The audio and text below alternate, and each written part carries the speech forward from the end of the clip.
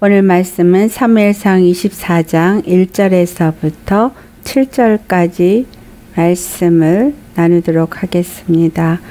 사무엘상 24장 1절에서 7절까지 말씀 같이 봉독하시겠습니다. 사울이 블레셋 사람을 쫓다가 돌아오매 어떤 사람이 그에게 말하여 이르되 보소서 다윗이 엔게디 광야에 있더이다 하니 사울이 온 이스라엘에서 택한 사람 3천 명을 거느리고 다윗과 그의 사람들을 찾으러 들렴서 바위로 갈새 길가 양의 우리에 이른즉 굴이 있는지라 사울이 뒤를 보러 들어가니라 다윗과 그의 사람들이 그 굴 깊은 곳에 있더니 다윗의 사람들이 이르되 보소서 여호와께서 당신에게 이르시기를 내가 원수를 내 손에 넘기리니 내 생각에 좋은 대로 그에게 행하라 하시더니 이것이 그날이니이다 하니 다윗이 일어나서 사울의 겉옷자락을 가만히 베니라 그리한 후에 사울의 옷자락 뱀으로 말미암아 다윗의 마음이 찔려 자기 사람들에게 이르되 내가 손을 들어 여호와의 기름 부음을 받은 내 주를 치는 것은 여호와께서 금하시는 것이니 그는 여호와의 기름 부음을 받은 자가 됨이니라 하고 다윗이 이 말로 자기 사람들을 금하여 사울을 해하지 못하게 하니라 사울이 일어나 굴에서 나가 자기 길을 가니라. 아멘. 다윗이 엔게디 광야에 있었을 때 사울이 블레셋 사람을 쫓다가 다시 엔게디에 와서 다윗을 죽이려고 하고 있습니다. 엔게디 바위에 대해서 말씀을 드렸죠. 오늘은 여기서 엔게디 바위를 2절의 끝부분에 뭐라고 말을 하고 있어요. 들염소 바위로 갈세 이렇게 말하거든요. 그 엔게디라는 단어의 뜻이 들염소 바위거든요. 그 들염소 바위 바로 우리가 들염소예요. 우리는 들포도로 표현되어 있는 하나님을 알지 못하는 자, 하나님을 알지 못하고 하나님과 관계가 없는 자, 죄인들, 그런 죄인들, 고통하는 자, 억울한 자, 핍박받는 자, 원통한 자, 이런 사람들이 다윗에게 모여들었잖아요. 그것처럼 지금 엔게디 광야에 나아간 부분이 의미하고 있는 것은 우리가 들염소 같이 하나님을 알지 못하고 하나님과 관계가 없는 자였는데 긍휼의 하나님으로 말미암아 그 사랑 안에서 우리를 예수 그리스도께 인도하고 예수 그리스도 안에서 하나님을 믿는 자가 되어졌다는 거예요. 그래서 예수님은 우리의 피할 바위세요. 우리의 피할 바위, 우리의 피할 요새, 우리의 피할 산성이에요. 엔게디 광야에 피해서 있는데 이 엔게디라는 곳이 의미하고 있는 게 참 재밌는 것이 그곳은 물이 있고요. 종려나무가 세워져 있고 그래서 각양 식물이 있고 아주 향기로운 꽃도 있는 곳.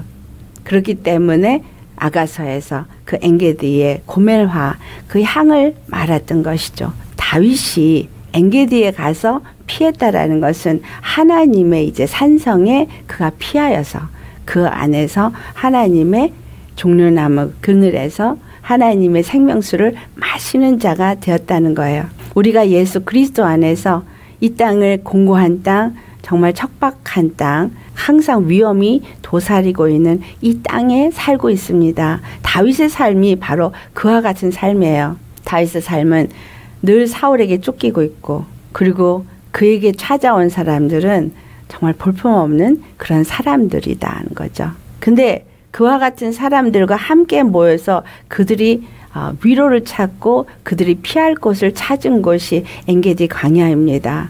우리가 이 땅을 살면서 척박하고 힘들고 어려울 때 우리가 찾아야 될 진정한 우리 쉼이 있는 터는 예수 그리스도 품 아닙니다. 내가 들 염소가 되어진 자. 그 들염소에 바위가 되어진 곳에 나아간다는 것은 바로 내가 아버지 죄인입니다. 이 죄인을 부르러 오신 하나님 앞에 나아가서 두 손 두 발 들고 주님 나는 죄인이오니 나는 예수님께 피합니다. 예수님께 나아갑니다. 예수님 나를 받아 주시옵소서. 그 엔게디에 가서 숨은 다윗의 그 사람들과 이 다윗의 행보처럼 우리는 예수님께 그와 같이 숨는 자가 되어야 합니다. 예수님께 숨은 자는 아무도 건드릴 수가 없어요. 다윗이 시편 37편에 하는 고백이 있어요. 우리 한번 찾아보시겠습니다. 시편 37편 39절과 40절 말씀. 시편 37편 39절에서 40절 말씀을 우리 같이 봉독하도록 하겠습니다. 의인들의 구원은 여호와로부터 오나니 그는 환난 때에 그들의 요새이시로다 여호와께서 그들을 도와주시되 악인들에게서 건져 구원하심은 그를 의지한 까닭이로다 다윗의 고백처럼 환난 날에 우리를 보호하시는 요새는 바로 예수 그리스도십니다.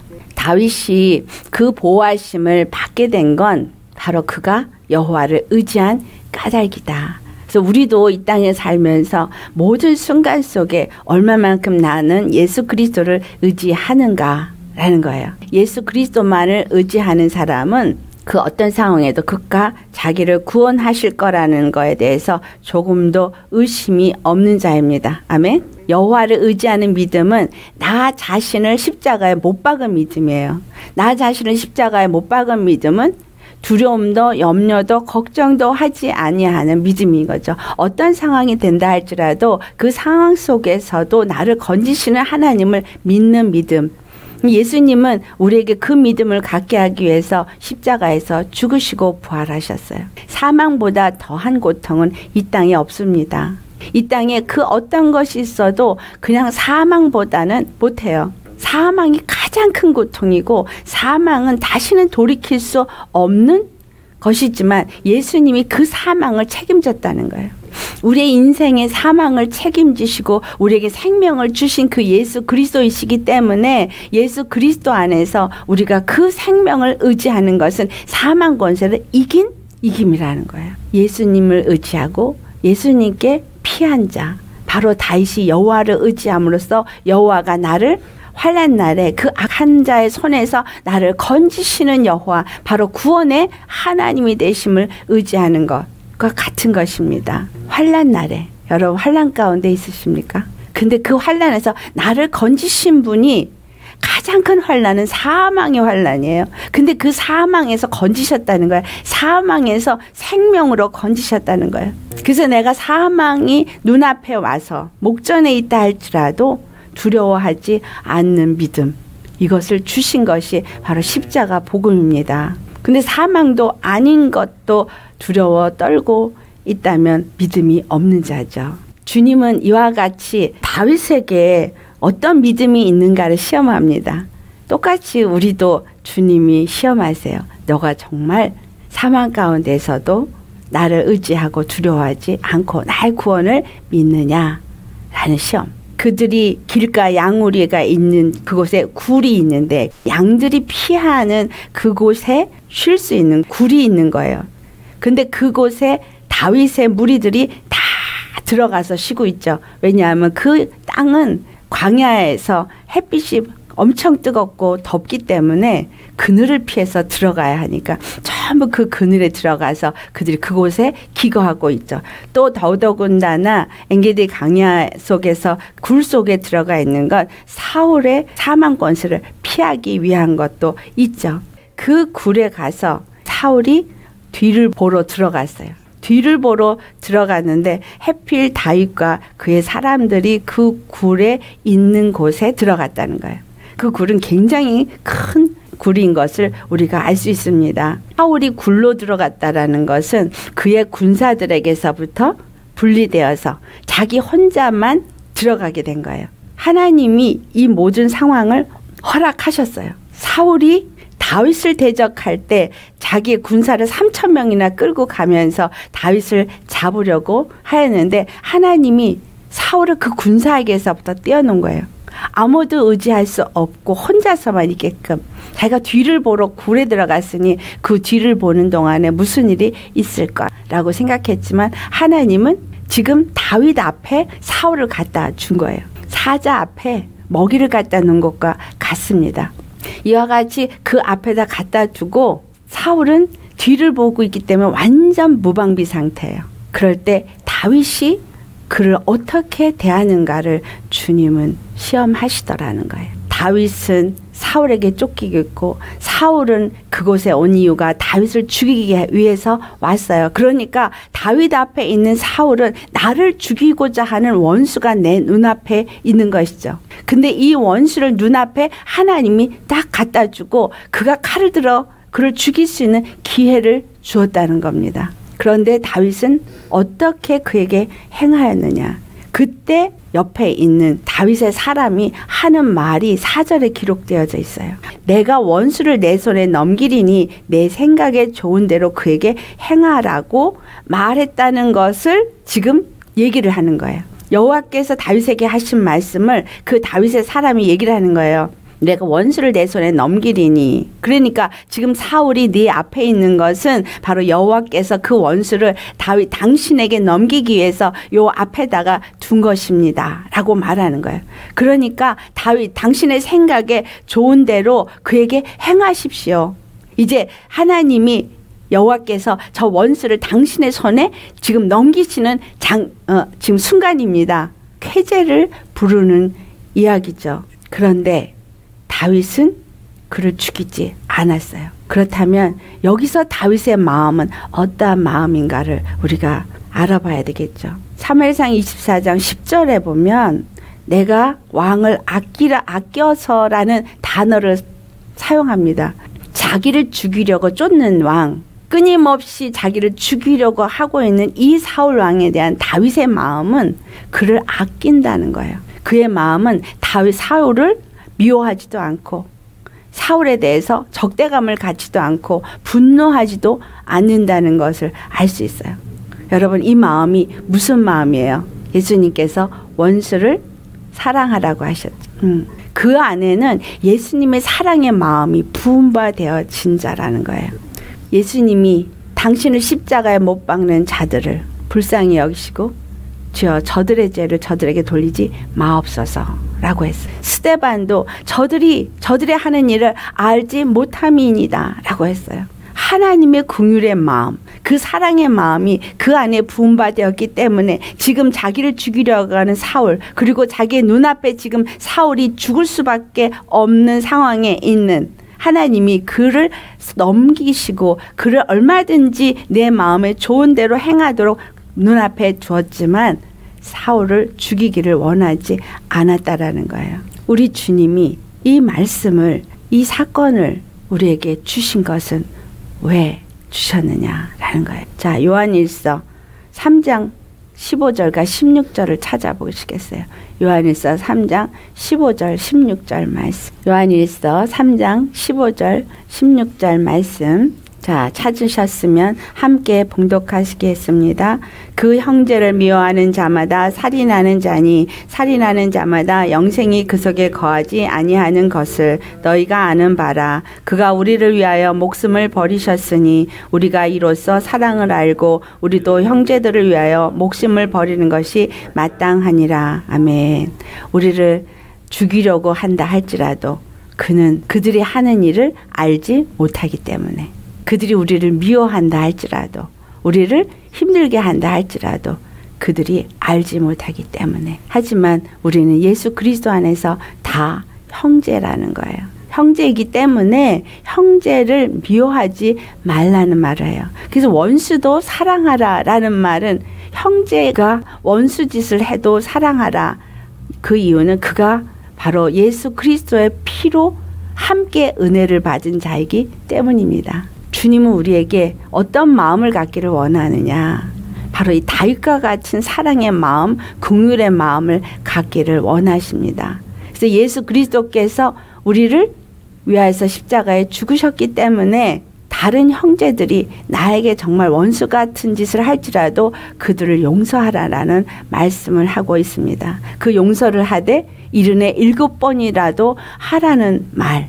형제가 와서 나에게 용서를 구할 때에 용서 하라고 하셨지만 사실은 원수를 사랑한다는 말은 그들이 아직 회개를 하지 아니하였어도 나는 이미 용서하라는 거예요. 왜냐하면 우리 주님 앞에 우리가 죄를 탕감받았기 때문에 용서받았기 때문에 우리가 무엇을 잘 해서가 아니라 우리가 행한 것이 없을 때 주님이 값없이 그냥 주신 은혜로 말미암아 탕감을 받았기 때문에 죄 사함을 받았기 때문에 그래서 너에게 원수 짓을 하는 자도 용서하라는 겁니다. 주님 앞에서 용서해야 되는 것은 내가 만약에 형제를 미워하면 살인하는 죄를 짓는 것이기 때문이라는 거예요. 미워하면 살이라는 죄를 짓는 것이기 때문에 너희가 형제를 나가라 말하면 살인하는 죄를 짓는 거라고 예수님이 말씀하신 것입니다. 그러니까 형제를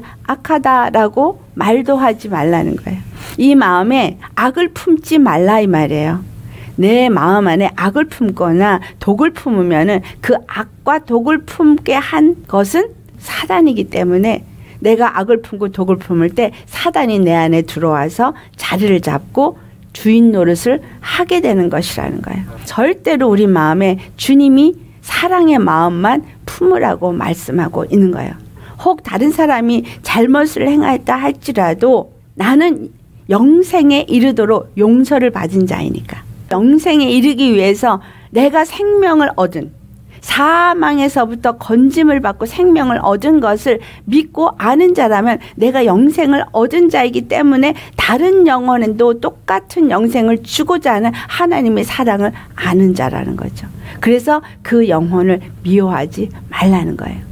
다윗의 마음이 바로 이와 같은 마음이었기 때문에 사울이 비록 그를 죽이려고 한다 할지라도 그를 미워하거나 그에게 대적하고자 하지 않았다라는 거예요. 이것이 첫 번째 다윗의 마음이에요.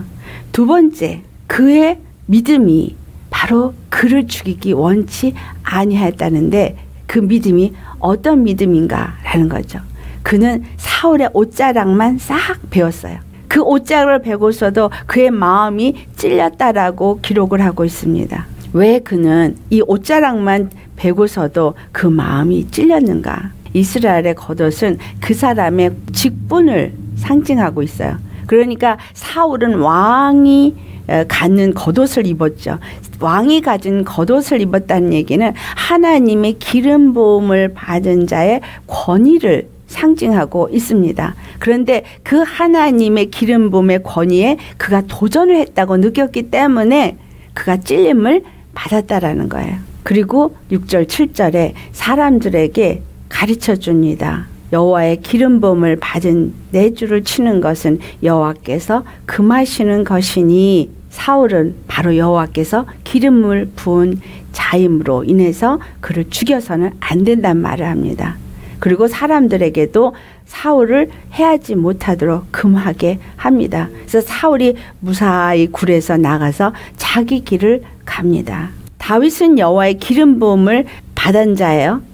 자기가 기름 부음을 받은 자예요. 그리고 사울은 이미 하나님의 기름 부음이 떠나갔다는 것을 알아요. 왜냐하면 사울이 악신에게 잡혀서 괴로워할 때 그가 수금을 타면서 그 악신을 쫓아줬기 때문에 그 여호와의 신이 자기에게 임하고 사울에게서 떠났지만 그는 그 왕위가 갖고 있는 그 권위는 하나님이 주신 거라는 걸 인정하는 거예요. 로마서 13장 1절에 모든 권세는 다 하나님께로부터 말미암았다. 다윗의 믿음은 하나님의 그 모든 권위에 순복하는 믿음이라는 거예요. 사울이 비록 자기를 죽이려고 한다 할지라도 다윗은 어떤 믿음을 갖고 있느냐 하면 하나님께 모든 것을 맡긴 믿음을 갖고 있다라는 거예요. 다윗의 믿음은 모든 것을 하나님께 맡긴 믿음을 갖고 있는 겁니다. 이 구약에서 기름 부음이 세 사람에게만 주어집니다. 왕과 제사장과 선지자. 이 기름 부음이 주는 의미는 하나님이 하나님의 백성의 구원자이심을 나타내기 위해서 준 기름 부음이에요. 그래서 기름 부음이 주는 의미는 구원과 관계가 있습니다. 왕의 기름 부음은 이스라엘의 구원을 위함이요. 제사장의 기름 부음은 이스라엘 백성의 구원을 위함이요. 또 선지자의 기름 부음도 이스라엘 백성의 구원을 위함이요. 이 모든 구원은 하나님과의 관계성에서 온전한 관계를 이루게 하기 위해서 기름 부음을 주어서 왕도 제사장도 선지자도 다 그 일을 하게 하였다는 거예요. 기름 부음을 대적하는 것은 하나님의 구원을 대적하는 거예요. 비록 사울이 하나님의 기름 부음을 받은 왕으로 세움을 받아서 그가 이스라엘의 구원을 위해서 일해야 되는 자가 그 일을 제대로 하지 못한다 할지라도 하나님께서 그를 아직 왕위에 두고 있기 때문에 그 기름 부음에 대해서 다윗은 절대로 대적하고자 하지 않았다는 거예요. 하나님의 기름 부음이 있는 사람을 절대 대적하면 안 됩니다. 이 기름 부음은 주님께서 왕과 제사장과 선지자에게 준 것은 바로 이와 같은 기름 부음으로 예수께서 그리스도로 오실 것을 예표한 거예요.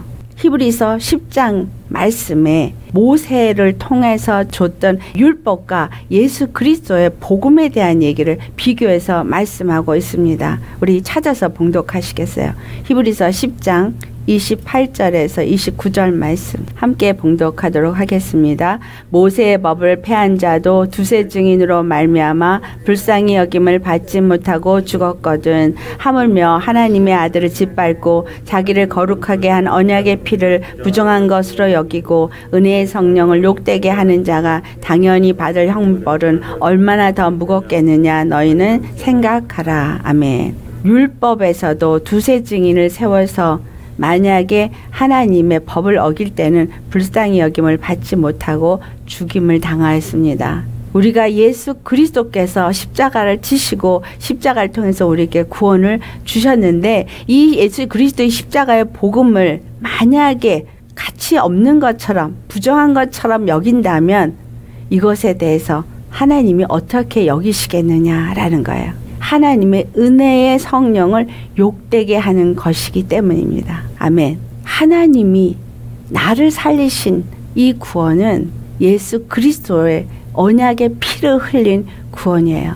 예수 그리스도의 언약의 피를 흘린 그 구원을 위해서 왕도 제사장도 선지자도 기름 봄을 주시고 그 모든 일을 행하는 것을 구약에 기록하게 하시고 기록된 그 모든 말씀대로 예수 그리스도께서 이 땅에 오셨어요. 그래서 그 예수 그리스도 십자가의 은혜의 피를 내가 가치 없이 여기고 부정하게 여기는 것은 절대로 욕되게 하는 것은 절대로 용서함을 받을 수 없다라는 거예요. 히브리서 12장 25절에 이런 말씀을 합니다. 너는 삼가 말씀하신 이를 거역하지 말라. 땅에서 경고하신 이를 거역한 그들이 피하지 못하였거든. 하물며 하늘로부터 경고하신 이를 배반하는 우리일까 보냐. 다윗은 하나님의 기름 부음을 받은 자에게 대해서 어떻게 행해야 될지를 율법이 말하고 있는 것을 잘 알고 있어요. 그러니까 그것을 거역하지 않기 위해서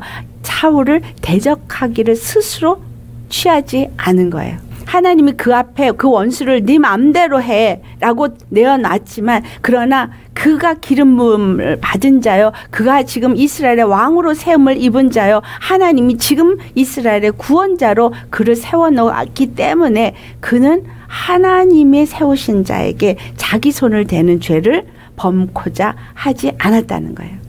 우리가 볼 때 아무리 하찮은 자라 할지라도 하나님의 기름을 봐서 세운 주의 종에게 그래서 우리는 함부로 말을 하면 안 됩니다. 하나님의 기름을 부어서 하나님의 일을 하도록 세운 자이기 때문이에요. 그래서 그가 비록 잘못했어도 주의 종은 하나님이 직접 치리하세요. 그래서 우리가 만약에 내가 섬기는 주의 종이 잘못했을 때는 어떻게 하면 돼요? 하나님께 기도하면 돼요. 하나님 앞에 기도하는 것이 우리가 해야 할 일이지 우리가 그를 정죄하고 판단하고 씹고 죽이고 이런 일 하면 안 돼요. 교회에서 장로님들이 목사님을 좌지우지 해 가지고 고통을 겪는 목사님들이 하소연하는 거를 들은 적이 있어요. 하나님이 세운 기름 받은 종 모세가 구스 여인을 취하였을 때 아론과 미리암이 대적했죠. 우리도 하나님의 음성을 들었다. 그런데 우리도 기름 부음이 있는데 하면서 그를 대적했어요. 즉 오늘날 장로님들이 안수 받으니까 기름 부음이 있으니까 그러고서 목사님을 대적해요. 또 제가 설교할 때 목사나 우리 모두가 다 한 직분을 받은 사람이기 때문에 하나다 이렇게 얘기를 하니까 함부로 대할 수 있다고 생각해도 안 됩니다. 직분이 다르지만 주의 종으로 기름을 부은 사람들은 하나님이 하나님과 백성 사이를 연결하는 구원을 이루게 하는 통로로 세웠기 때문에 그가 비록 잘못 행한다 할지라도 그를 대적하면 안 돼요. 그래서 미리암이 문둥병에 걸렸잖아요. 하나님이 세운 자는 하나님이 직접 치리하시기 때문에 하나님께 맡겨야 해요. 다윗도 그 사울을 죽이기를 기뻐하지 아니하고 하나님께 모든 것을 맡깁니다. 이것이 우리가 해야 할 믿음의 마음가짐이라는 거예요. 주께서 하나님의 말씀을 주셨어요. 그 말씀을 주신 분이 그 말씀을 어떻게 잘 순종하느냐 안 하느냐를 보고자 하심이죠. 다윗이 내가 기름 부음이 있으니까 내가 저를 이제 죽이고 이스라엘의 왕으로 서리라 라고 하지 않았어요. 그는 하나님의 때를 기다리는 자였어요. 하나님의 때를 기다릴 수 있는 자가 되셔야 합니다. 우리도 지금 신약 시대에는 모두가 성령을 받아 기름 부음을 받은 자예요. 그러니까 각각 기름 부음을 받은 모든 자들이 참으로 귀하지만 그 귀한 자들을 향해서 우리가 어떤 식으로 행동을 하느냐 이게 중요하다는 거예요. 주의 종도 기름 부음을 받은 자요. 나도 기름 부음을 받은 자이지만 우리 안에서 행하시는 이는 하나님이시라는 거예요. 내가 무엇을 하는 것이 아니라 나에게 성령을 부으시고 그리고 내 마음에 주님이 뜻을 두시고 행하십니다. 그리고 너에게 원수들을 대적할 수 있는 힘을 줬다, 능력을 줬다. 그리고 그 능력을 사용해서 대적해라 할 때 거기에서 대적은 누구를 의미하고 있느냐 하면 같은 형제가 아니라 원수 마귀를 의미하고 있는 그 원수 마귀에게 사로잡혀서 나에게 원수 짓을 하고 있는 자가 사울과 같은 자인 거죠. 원수도 사랑하라는 얘기는 마귀를 사랑하라는 얘기가 아니라 그와 같이 나에게 원수 짓을 하나 그가 나의 형제요. 그가 지금 마귀에게 속아서 그와 같은 원수 짓을 하지만 그를 사랑해서 그로 하여금 구원에 이를 수 있는 기회를 주어라 그 말입니다. 주님은 다윗을 통해서 무엇을 깨달아 알아야 되냐? 다윗에게 주님이 보고자 하는 믿음 똑같이 우리에게도 보고자 하신다는 거예요. 내가 예수 그리스도 은혜를 아는 자요. 그 은혜 안에서 예수 그리스도께 나를 맡긴 믿음을 가진 자요. 모든 것이 그분의 손에 의해서 이루어지고 있다는 것을 내가 알고 그분을 따르지만 그러나 그분께 맡겨진 나는 겸손한 자리에 있어야 할 그 이상도 이하도 아니라는 거예요. 은혜 받은 자일 뿐입니다. 다윗이 가졌던 마음처럼 분노도 원망도 미움도 하지 않아야 되는 거예요. 그게 십자가의 죽은 자예요. 십자가의 죽은 자는 분노 없어요. 원망 없어요. 미움 없어요. 근데 나한테 어떤 것을 행한 자 생각만 하면 분이 올라오고 내 마음에 용서가 안 되고 대적하고 싶다. 그것은 하나님의 마음이 아니라는 거예요. 기름 부음을 받은 자를 거역하는 것은 하나님의 구원을 거역하는 것과 같은 죄로 여겨집니다. 하나님의 구원이 어떤 기름 부음 받은 자를 통해서 일하시는 것은 내 기준에 내 생각에 옳고 그르고 판단이 되어진다고 할지라도 결단코 우리는 하나님께 맡긴 자가 되어야 하는 거예요. 하나님께 맡긴 자들은 하나님의 말씀에 거역하지 않기 때문에 그 앞에 그냥 납 작 엎드린 그러한 심령이 되어지는 거예요. 시편 107편 10절과 11절의 말씀이 흑암과 공고와 쇠사슬에 앉은 이유를 말하고 있습니다. 그 이유가 무엇이냐면 하나님을 거역했기 때문이에요. 하나님의 말씀을 거역했고 지존자의 뜻을 멸시했기 때문입니다. 다윗은 하나님의 말씀을 거역하고 지존자의 뜻을 멸시하지 않기 위해서 자기에게 당하는 이 모든 고난과 고통과 이 모든 것을 그저 받아들이고 감수하더라는 거예요. 그의 믿음은 하나님이 비록 내 앞에 기름 부음 받은 사울 왕을 두었다 할지라도 그가 기름 부음을 받은 자이기 때문에 그를 죽이기를 원치 아니했고 또 자기의 수하들에게도 그를 죽이는 것을 금합니다. 하나님의 기름 부음을 받은 자이기 때문에 절대로 기름 부음 받은 자를 대적하지 말아라는 거죠. 우리도 똑같이 기름 부음을 받은 자를 대적하지 말아야 되는 것은 그러면 목사에게 대적하지 말아야 되지만 또 똑같은 성도도 대적하면 안 되는 거예요. 누구를 대적하면 돼요? 원수 마귀만 대적하면 돼요. 그러니 영혼을 대적하지 않으면 영혼을 미워하거나 원망하지 아니하고 그 안에 역사하고 있는 그 뒤에서 역사하고 있는 뭐만 원망하고 미워해요? 마귀. 그러니까 나에게도 역사하고 남에게도 역사하고 있는 그 마귀는 대적하고 미워하지만 그 사람은 미워하면 안 되는 거예요. 내가 내 손으로 그를 대적하려고 들면 안 된다는 거죠. 주님 안에서 우리가 하나님의 뜻을 아는 자가 바로 그리스도를 믿는 자예요. 하나님의 뜻은 바로 예수 그리스도로 말미암아 유대인이나 이방인 모두를 구원하고자 하는데 엔게디 광야에 피한 다윗처럼 우리가 예수님께 피한 자라면 다른 자들도 예수님께 피할 수 있도록 내가 통로가 되어져야지 그를 미워하고 그를 잡아 죽이는 역할을 하면 안 된다는 거죠. 마태복음 10장의 40절로부터 42절에 주님이 너를 영접하는 자는 나를 영접하는 것이고 나를 영접하는 자는 나를 보내신 자를 영접하는 것이라는 말씀을 하죠. 우리가 부족하고 연약해도 영접하는 거. 다른 영혼이 나에게 나올 때 그가 부족하고 연약해도 내가 그를 영접할 때 예수 그리스도 때문에 영접한다면 예수 그리스도를 영접한 것처럼 그 사람을 영접할 것입니다. 그를 영접할 때 예수님을 영접한 게 되어지고 예수님을 영접한 것이 되어졌을 때 예수님을 보낸 하나님 아버지를 영접한 것이 되어진다는 말을 하는 거예요. 마태복음 10장 40절로부터 42절까지 봉독하겠습니다. 함께 봉독하겠습니다. 너를 영접하는 자는 나를 영접하는 것이요 나를 영접하는 자는 나를 보내신 이를 영접하는 것이니라 선지자 이름으로 선지자를 영접하는 자는 선지자의 상을 받을 것이요 의인의 이름으로 의인을 영접하는 자는 의인의 상을 받을 것이요 또 누구든지 제자 이름으로 이 작은 자 중 하나에게 냉수 한 그릇이라도 주는 자는 내가 진실로 너에게 이르노니 그 사람이 결단 코 상을 잃지 아니하리라 하시니라.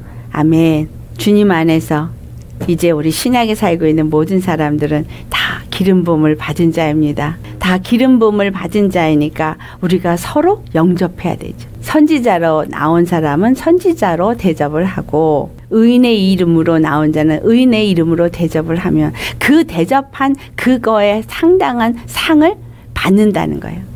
아무리 부족한 소자일지라도 그 소자에게 냉수 한 컵을 대접한 것조차도 상을 잃지 않는다고 말씀하였기 때문에 누가 우리에게 나왔을 때 그가 어떤 직분으로 나왔던 그 직분으로 나온 자를 내가 대우를 한다면 거기에 대한 상을 받는다는 거예요. 그 이유는 바로 그가 기름 부음을 받은 자이기 때문에. 그런데 우리가 서로 기름 부음을 받았다라고 말은 하면서 우리 교회에 나온 적은 아주 소자 같은 자, 보잘 것 없는 자, 이런 사람은 무시해요.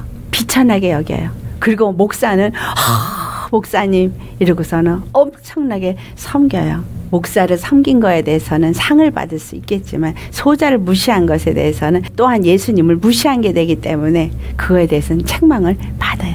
이왕이면 상을 받으려면 다 상을 받아요. 우리는 서로가 뭐 하는 자가 되라는 거예요? 섬기는 자가 되라는 거예요. 사랑의 마음을 가진 자로서.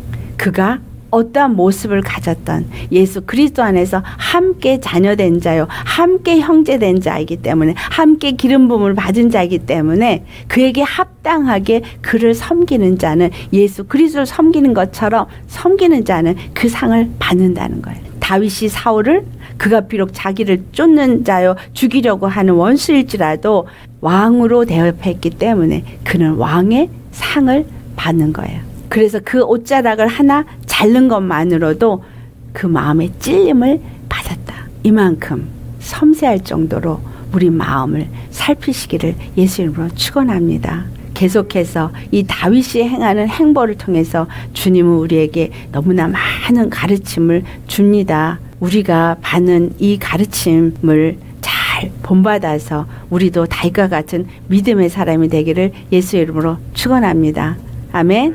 절대로 기름 부음 받은 자를 대적하지 마시고요. 절대로 그러한 어떠한 원수가 원수짓을 나에게 한다 할지라도 내가 그거를 대적하려 하지 말고 그에게 모든 것을 행하게 하시니가 여호와의 심을 믿고 주님이 모든 것을 허락하신 것을 아멘으로 겸손하게 받아들이면서 주님께 모든 것을 맡기는 그러한 겸손한 믿음의 마음 그리고 오직 원수도 사랑하는 사랑의 마음을 가는 우리가 되기를 예수님을 축원합니다.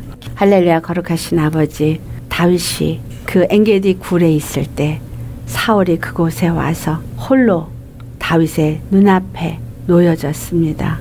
여호와께서 사울을 다윗의 눈앞에 두었지만 다윗이 그를 어떻게 대할지 그 마음을 알고자 하심입니다. 아버지, 우리도 우리를 괴롭히고 힘들게 하는 자가 우리 앞에 비천하게 순간에 내가 얼마든지 넘어뜨리고 얼마든지 할 수 있는 기회가 주어진다 할지라도 우리는 결단코 그와 같은 악을 행하는 자가 되지 말게 하옵소서. 다윗이 그 사울의 기름 부음을 인정하고 하나님께서 부으신 그 기름 부음을 가진 자로서 여기고 그의 옷자락을 벤 것만도 그 마음이 찔린 것처럼 우리가 이제 이 신약 시대를 살고 있는 모든 자가 직분은 다르나 성령의 한 기름 부음을 받은 자이기에 주님께서 선지자의 이름으로 오는 자는 선지자로 대접을 하고 의인의 이름으로 오는 자는 의인으로 대접하고 소자일지라도 그 냉수 한 그릇도 땅에 떨어지지 아니하고 상을 받으리라 한 것처럼 우리는 서로가 서로를 섬기며 대우하며 오직 우리 모두가 여호와 하나님 앞에서 그 하나님의 것으로서 그리스도의 것으로서 은혜를 입은 자인 것을 기억하게 하시고 그 은혜 안에서 서로 섬기고 사랑하며 원수를 대적하되 사람을 대적하고 사람을 미워하는 자가 아니라 그를 통해서 역사하고는 우리의 원수 마귀를 대적하는 자가 되게 하여 주시옵소서. 그래서 마귀는 미워하고 대적하나 사람은 미워하지 말고 사람은 대적하지 말게 하옵시고 모든 일을 허락하신 여호와 하나님께서 그 일을 우리에게 허락하신 이유가 무엇인지를 깨달아 알고 하나님 앞에 더욱더 겸손하게 나 자신을 낮추는 자가 되게 하여 주옵시고 오직 주님께서 주신 은혜 안에서 그 은혜를 입고 사랑을 입은 자로만 살게 하여 주시옵소서 감사합니다.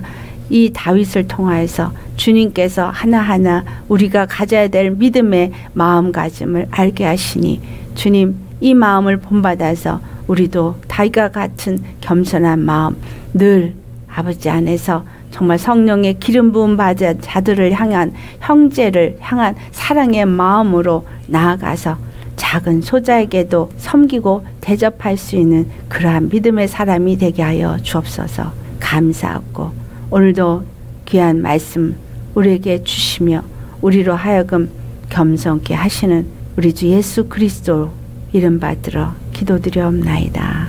아멘.